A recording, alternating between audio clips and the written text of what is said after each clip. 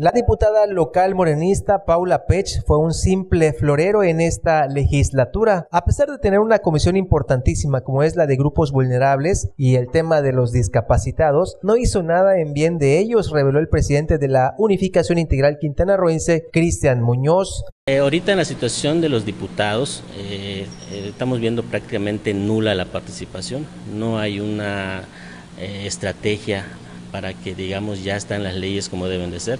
Eh, ya lo hemos platicado con, la anterioridad, eh, las leyes del desarrollo para, las personas con discapacidad están en letra muerta, automáticamente. No, la diputada encargada de este tema hasta ahorita no aparece, ya van a terminar su administración y hasta ahorita no aparece la diputada, no da una razón. Ahorita definitivamente, si nos acercamos al gobierno del Estado, nos van a decir que ya se están yendo, ¿no? Si nos acercamos a los diputados, nos van a decir lo mismo.